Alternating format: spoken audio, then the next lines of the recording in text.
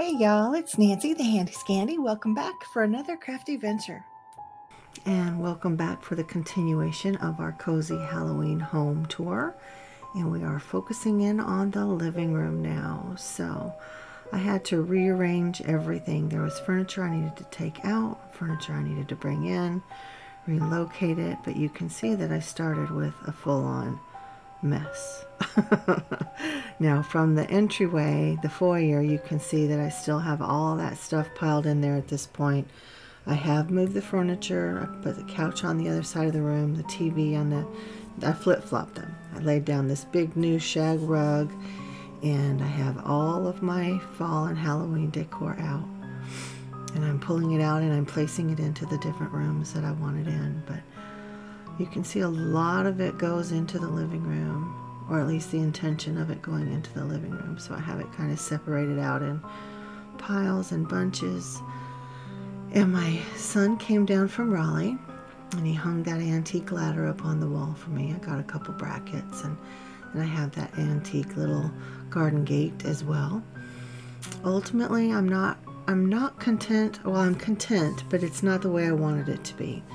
But my theme over and over again is sometimes you just have to take things that they are and move on to the next thing. So that's what I've done with that. And so I have ideas for next time, but for now, this is what I have, and I'm okay with it. I'm okay with it. It's not what I had in my head, but it is not bad either. It's very cozy. It adds to that element of cozy in the room. So you can see that things are being shuffled and moved around. Some of them cleared out and found new homes. But now I'm going to turn my attention to the fireplace. Do a little zoom in there, seeing all those buys, those new buys from this year from my Halloween hunting.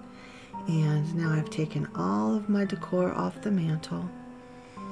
And I, I end up keeping both of those garlands. I, I hang them differently. I flop them but we're just kind of figuring things out. So I have an old, it's like a black and white polka dot fabric that I laid down, and then that mirror is new, that wreath is new.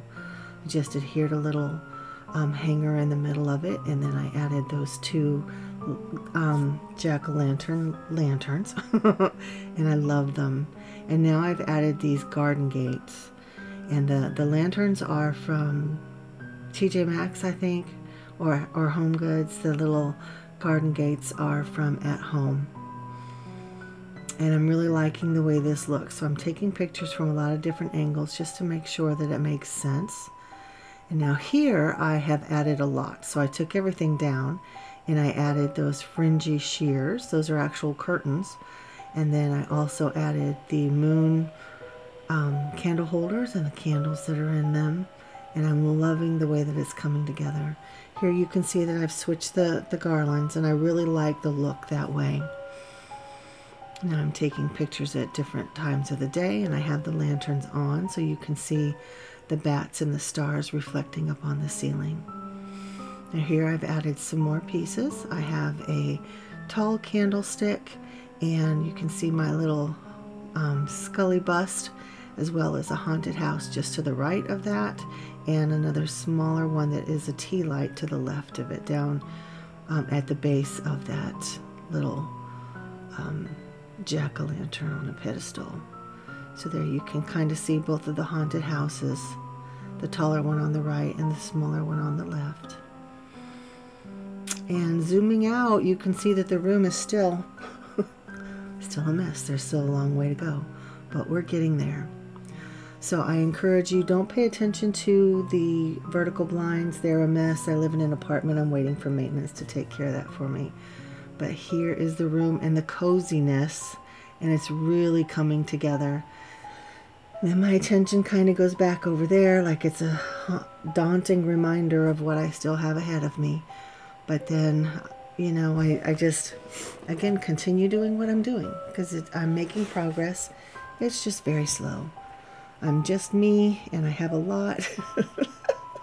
so these are all of my different piles and you can see that they're morphing, they're changing, they're getting smaller. My poor little vulture, his head broke. He didn't fare well over the over the year in the closet. So now I'm turning my attention to that bookcase.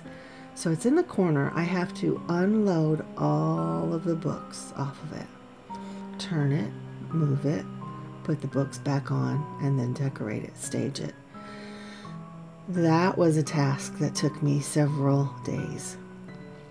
That by itself.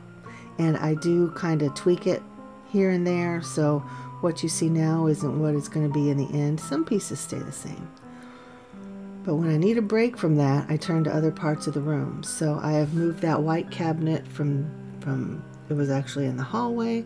Then I moved it over by the bookcase and now I've moved it there and that's where I decided it's going to stay. And so I decided to go ahead and stage it and I'm very happy with it. But back to this corner. Now I have my gray cabinet there and I love that cabinet. That is from a sweet friend, the same one that did the um, the hutch in the in the foyer. She did that cabinet as well. So I really like the way both of them are turning out. We'll do some more close-ups on that gray cabinet here in a little bit as well as the bookcase. But this is my little white cabinet with that beautiful clock from at home. I love that. The wreath that it's sitting in, I've had for many years. I'm not even sure where I got it.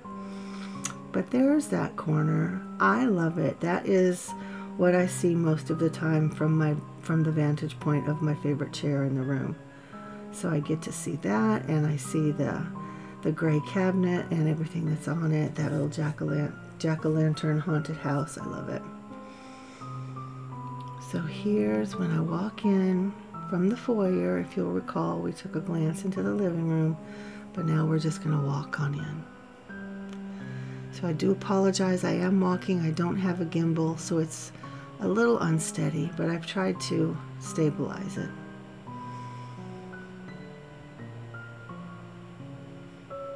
But I'm just going to let it play from here on out, and I will interject from time to time.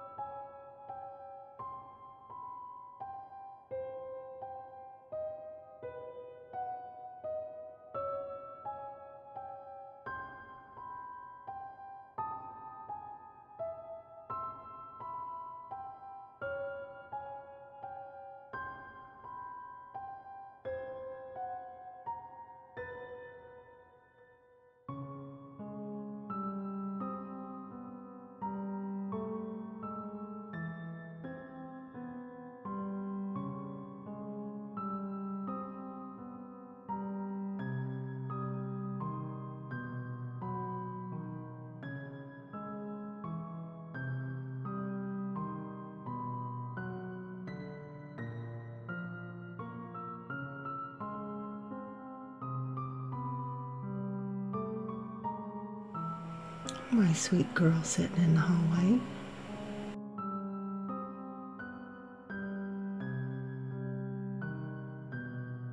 This is the little tray that's sitting on the ottoman and all the little goodies that's on it. Now I do apologize if some of the shots are particularly dark. Obviously time passes as I'm filming and it gets to be night instead of just dusk. So maybe if you dim a light in the room where you're watching, you might be able to see a little bit better. I've done all I can to adjust the lighting.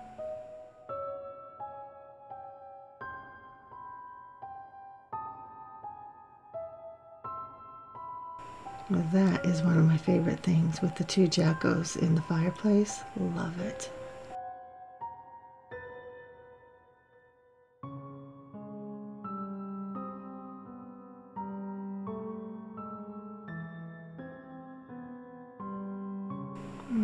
See those stars and bats on the ceiling again. And then as I lay down on the couch, you can see what the what the view is like up under that antique ladder hanging from the wall near the ceiling. I love all the fairy lights.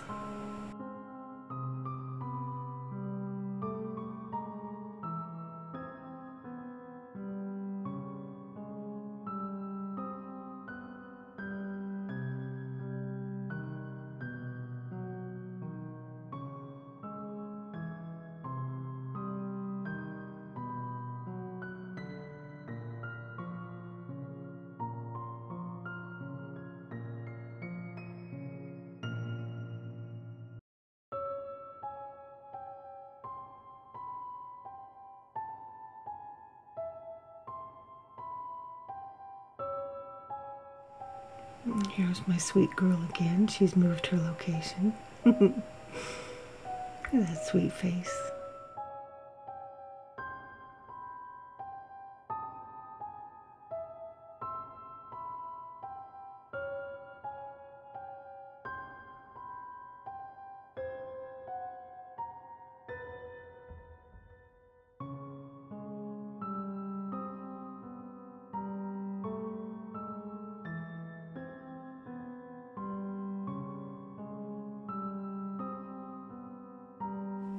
That little table is just kind of a mishmash of things. It's not anything special, but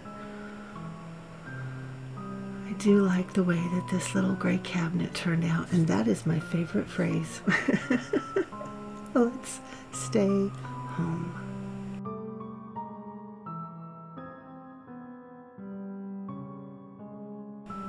I love the way those grubby prim candles look in those candle holders. I think they're super fun. And then the mix of textures with the pumpkins from the ceramic to the woven burlap to the wood to the resin. It's just a fun mixture. And this haunted house is so much fun.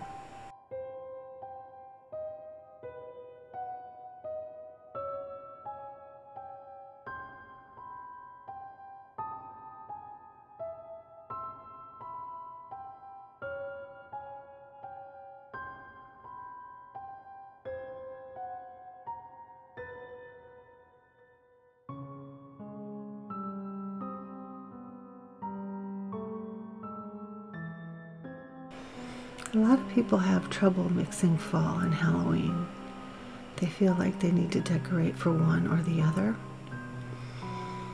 To me, they're, they go hand in hand. I've heard some call it Falloween, which I love. I guess that's kind of my aesthetic. My Halloween is not creepy, scary, or gory. It might have some creepy, scary elements, but overall, it's much more cozy. That's just who I am.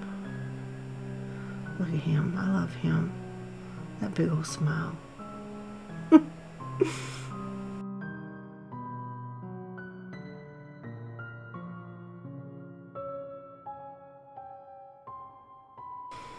I can tell you that keeping batteries in all of these battery operated pieces, that's a task in and of itself.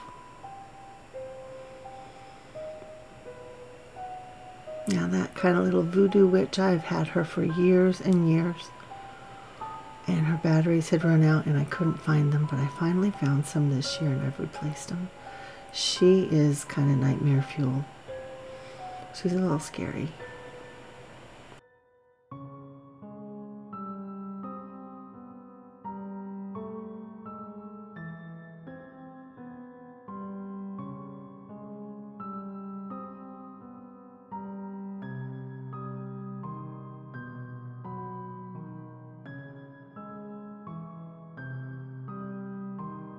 That pumpkin painting is from my sister.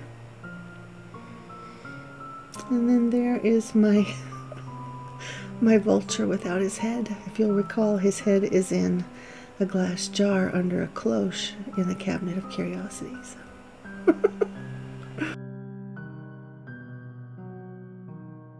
and that haunted sign I got from Christmas Tree Shop several years ago, and it is leaning on purpose. Now here I thought I would hang some creepy cloth and maybe add some bats or something, but that's just another one of those areas where I said I just have to accept it for what it is, and it's okay.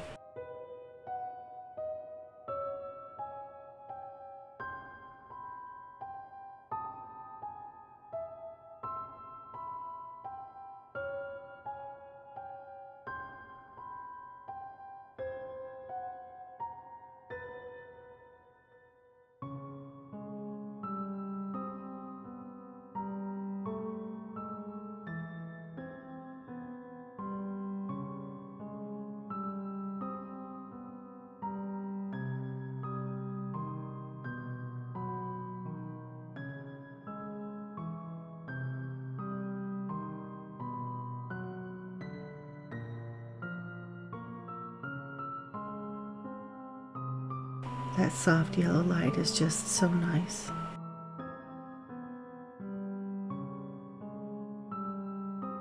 This is just such a comfy, cozy room. I do feel very blessed to be here.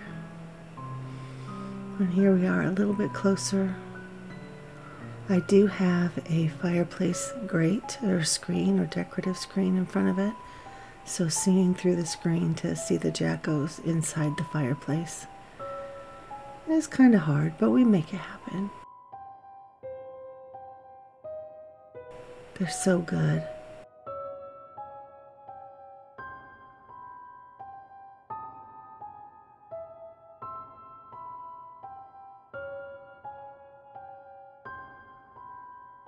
Now, from the attention to the dining room for the next video, but we're going to go ahead and finish this out. And again, y'all leave your comments downstairs in the comments section. Ask me any questions you might have.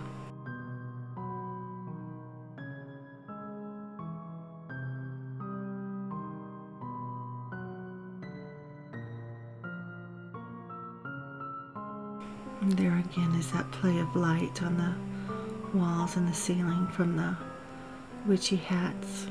And there's the small little haunted house tea light holder.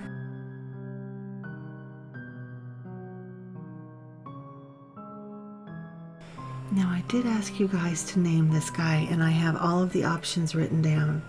So I will probably pin that in the comments section and let y'all know who won or which name I chose, I guess is a better way to put it. But anyway, there is the larger of the two haunted houses. My son did fix that turret. He got the little light up inside.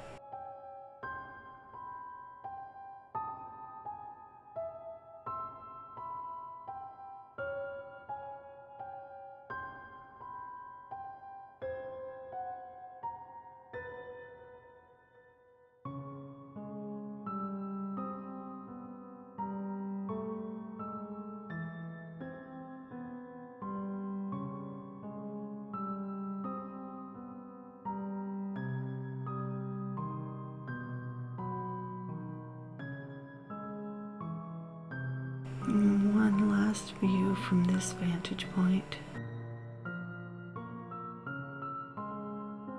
You can see down the hallway just a little bit. And then just a recap of the foyer and how it fits with the living room. And then a bit of a sneak peek into the dining room as well.